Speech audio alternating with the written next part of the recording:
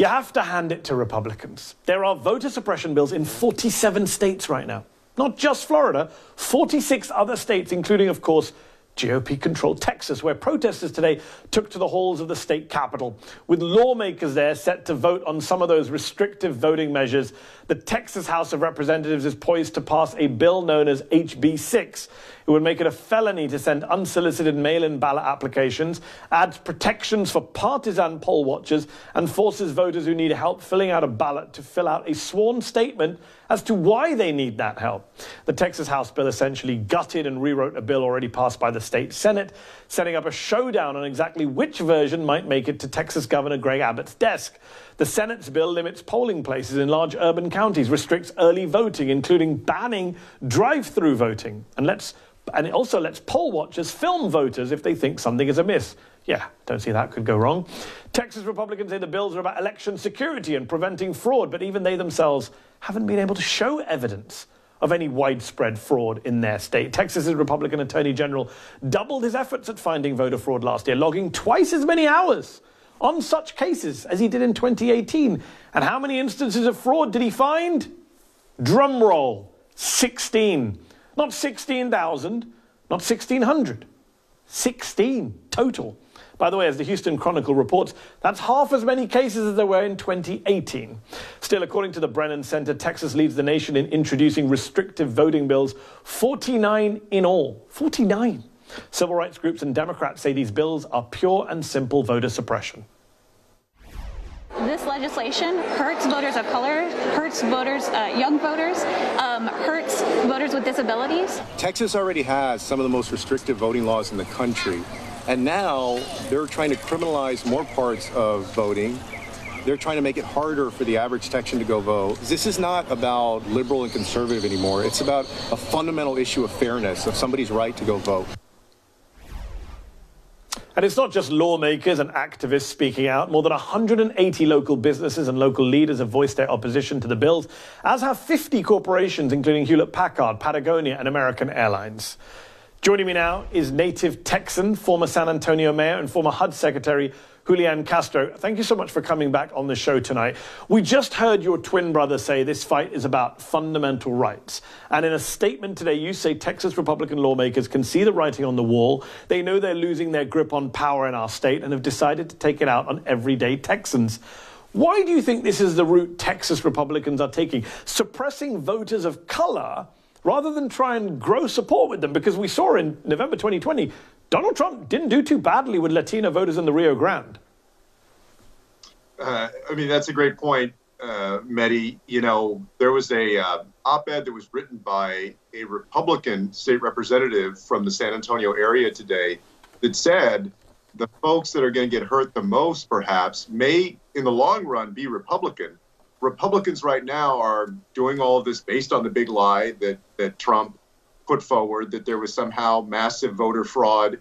The truth is, they've been at it for years. And as you noted, they're at it across uh, more than 45 states in our country because they believe, they see the writing on the wall, they believe that demographics are going to be their undoing.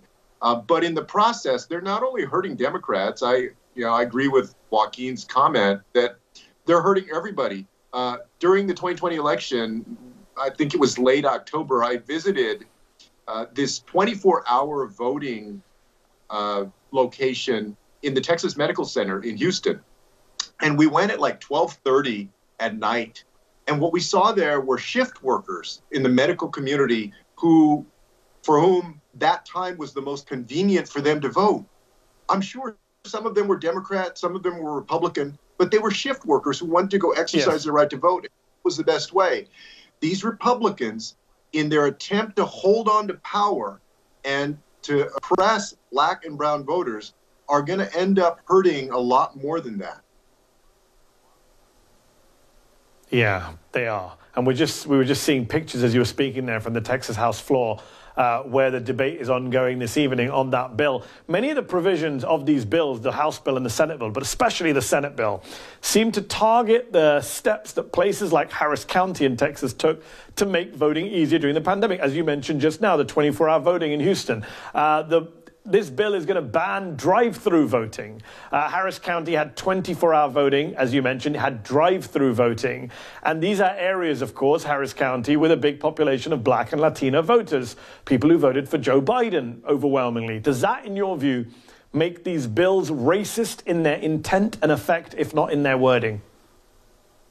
Well, of course they are. Uh, it's very clear Texas has a long history of these Republicans in Texas have a long history of embracing uh, racist legislation, uh, whether it's voter suppression, it's gerrymandering, any number of things. They've been found by court after court over the years to have that racist intent, and that's what's going on here.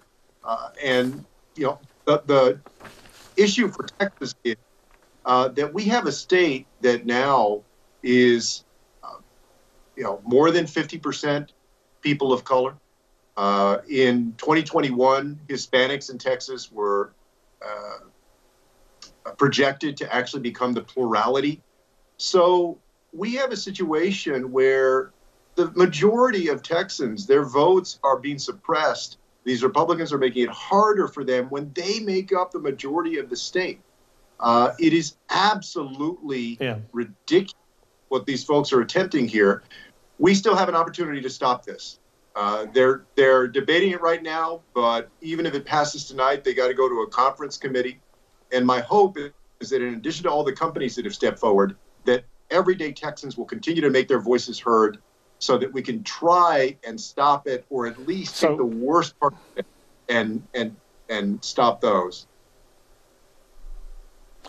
Lieutenant Governor Dan Patrick, Republican, appeared on Fox News this morning. He argued that Texas makes it easy to vote and railed against the corporations who've taken a stance against these voting bills. Have a listen since we passed voter ID, everyone said, oh, this is going to suppress vote. Um, we've increased voting in presidential elections in Texas by over 40% and in gubernatorial elections by 76%. Right. These CEOs of these national companies are the woke culture. They know nothing about what Texans think about this. We make it easy to vote in Texas. The numbers prove it. Uh, what's your response to the Republican lieutenant governor of your state? Uh, he's wrong. Actually, Texas ranks uh, 43rd in terms of voter turnout and 47th in terms of voter registration, and it's it's habitually at near the bottom of the barrel when it comes to both registration and turnout. That was the case 20 years ago, 10 years ago. It's the case today. And if this legislation passes, uh, I believe that we're going to stay at the bottom, and that's what they want. Uh, they think this is the only way for to hold on to power. So it's not surprising that uh, Lieutenant Governor Patrick is uh, not telling the truth. Uh, y'all may you may remember as well, Mehdi, that not too long ago he put out a million dollar offer for anyone who could bring yes. forward a voter fraud. Uh, you know, still, yeah, nothing. That million dollars is pretty. That million dollars is pretty safe. yes. he, he belongs. Um, let me ask you this: yeah, I mean, that's the problem with the modern Republican Party. You feel like they belong in entertainment, but they also do pretty dangerous things in a kind of semi entertaining way.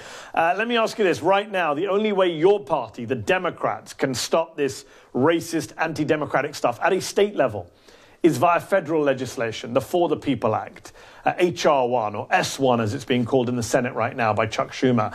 And yet you have two Senate Democrats, Joe Manchin, Kyrsten Sinema, holding it up defending the filibuster. Why has your party and your party leadership been so soft on them, given what's at stake here, given they are the literal block on legislation that could save democracy, save free and fair elections in this country? Pretty high stakes.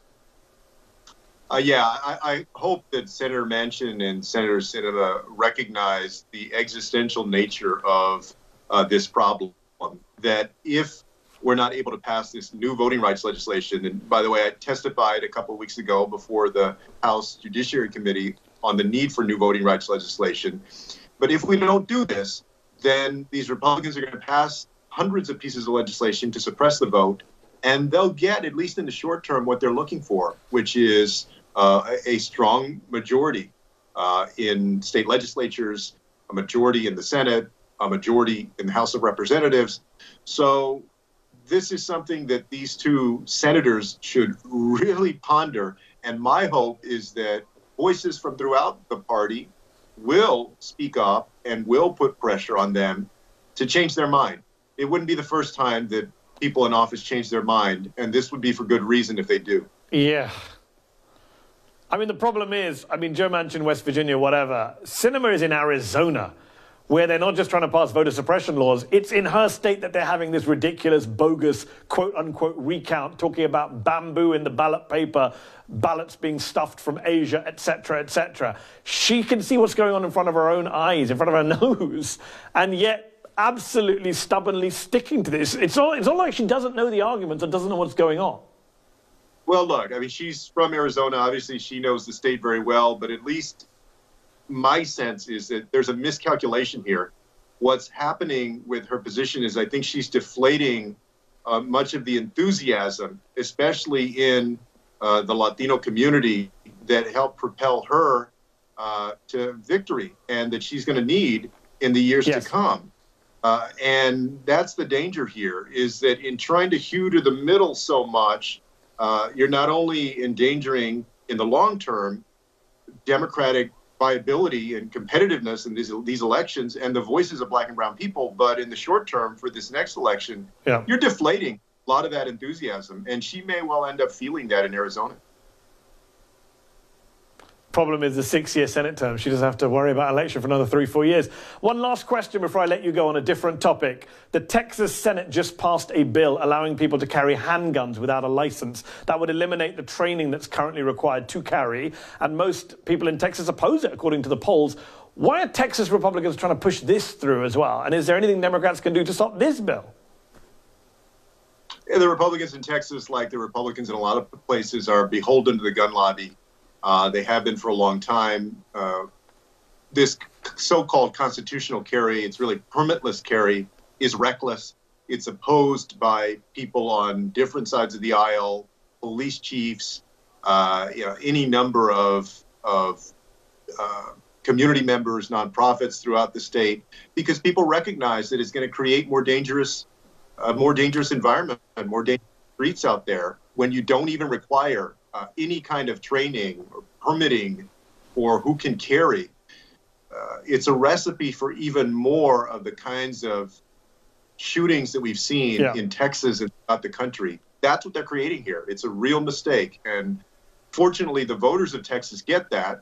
And I hope they make them pay in 2022 for it.